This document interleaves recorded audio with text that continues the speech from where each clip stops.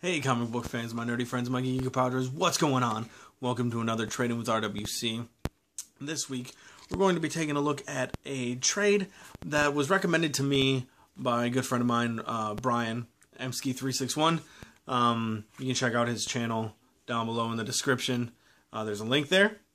And this book is The Mercenary Sea, Volume 1.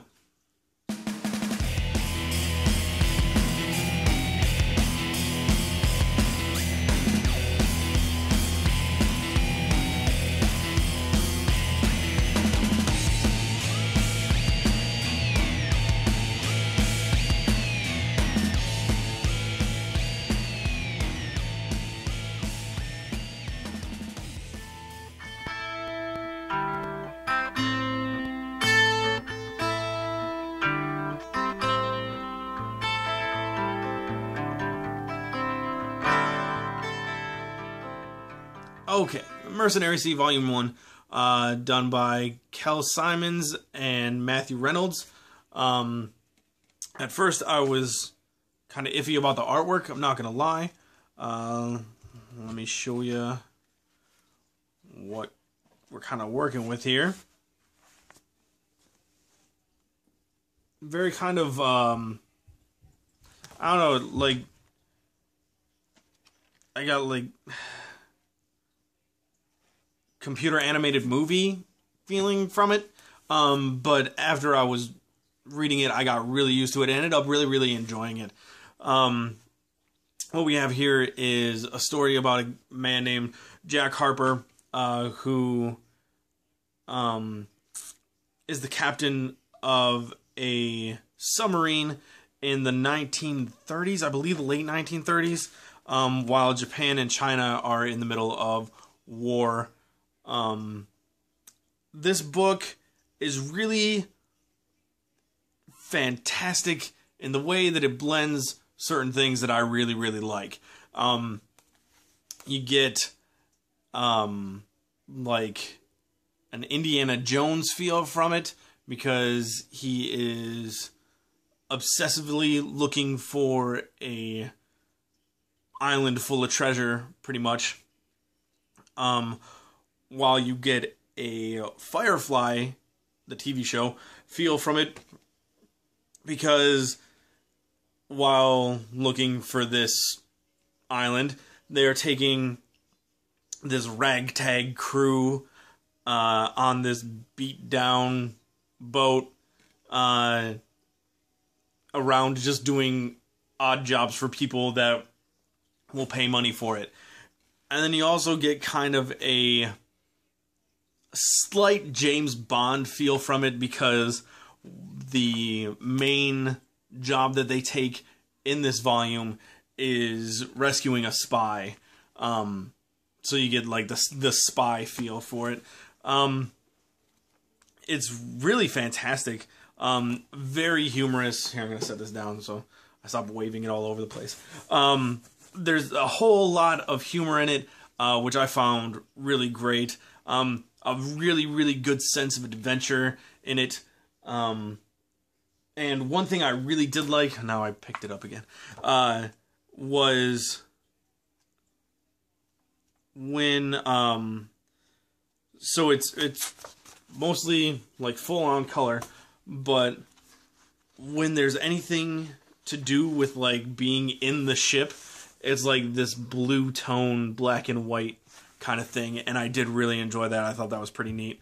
Um, then you get like flashbacks in different tones, and um, just really cool. Um, as far as the story, it's pretty much what I said. Like in the middle of a war, they go to rescue a spy who's being held captive, who has gotten intelligence um, on I believe it's the Japanese who are trying to develop uh, an airplane that can wield a torpedo.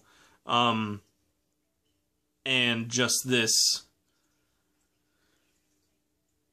relationship kind of develops between Jack and Top Hat, the code name for the spy.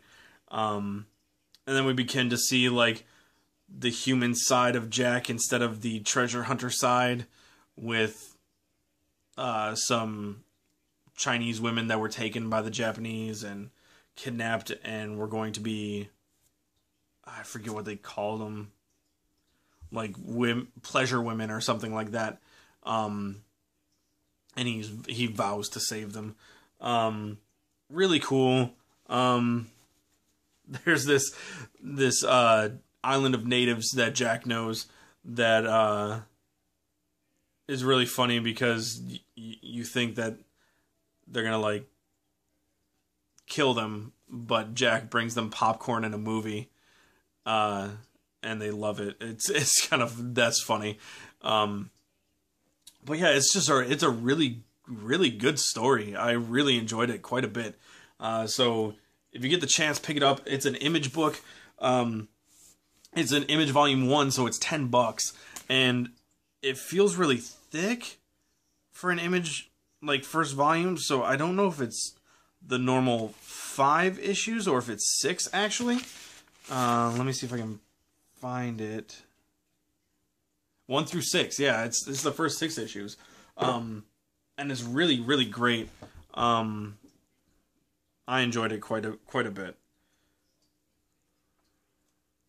Um, let me see if I can find another page that really shows the art.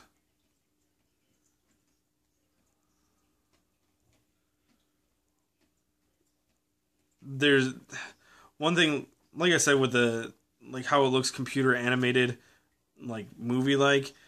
One thing that happens that kind of bugged me about the art was all the backgrounds are blurred. So you have the foreground of the characters, but all the black backgrounds are like blurry. I don't know if you can tell, but it's all like that. So it's kind of, mm, but after a while, I got used to it and started enjoying it. So like that right there, you can see how there's no real clear line definition to the trees in the background. It's all blurry. Um, but still, really, really cool. Really enjoyed it. Um, I recommend it uh, if you're if you're in the mood for that type of stuff, as I spoke about.